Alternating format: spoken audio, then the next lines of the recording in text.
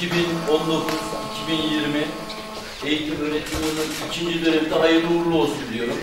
Nice nice güzel başarılar imza atmanızı diliyorum. Ya aslında insanların en önemli dönemi lise dönemi hatta 9 daha önemli bir dönem. Bence hayallerinizi gerçekleştirmek için azimle, dirençle, kararlılıkla çalışabileceğiniz ve hayallerinizi gerçekleştirmek için kullanabileceğiniz önemli bir dönem olduğunu düşünüyorum. Genelde bu lise dönemi çok önemli. Lise dönemini çok iyi değerlendiren öğrenciler daha başarılı oluyor. Aklınızda olsun. Şimdi hepimizin bir sürü hayali var. Hayata ilişkin, yaşama ilişkin, kendinize ilişkin, geleceğe ilişkin. Bu hayalleri gerçekleştirmek için çok önemli bir dönemdesiniz. Hatta lisenin başında olmanız da bir avantaj. Ama bunu iyi kullanmak lazım. Kullanmak derken alın teriyle, daha çok disiplinle, çalışmayla, e, dirençle yapabilirsiniz bunu.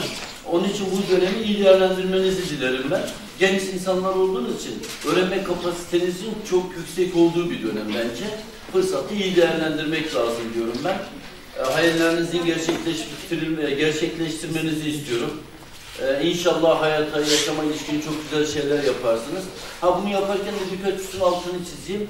Mesela kitap okuma ihmal etmeyin bence. Günde bir saatte olsa bir kitap okuyun. 2-3 tane yabancı dil öğrenin. Hani işte Arapçayı çok iyi öğrenin, İngilizceyi çok iyi öğrenin. Hatta beceremiyorsanız 4 tane yabancı dil öğrenin. Bir kişi bir yıl yeter. Çok güzeldir, çok keyiflidir. Bir de sorumluluklarınızı zamanda yerine getirmek. Sizin en büyük sorumluluğunuz da ders çalışmak. Onun dışında da ideal olarak iyi bir insan olmayı hedefleyin bence.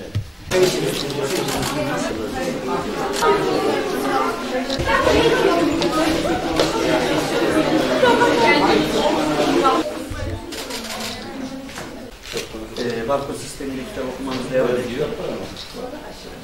Ayrıca Kaynak okumalarınız devam ediyor. şey.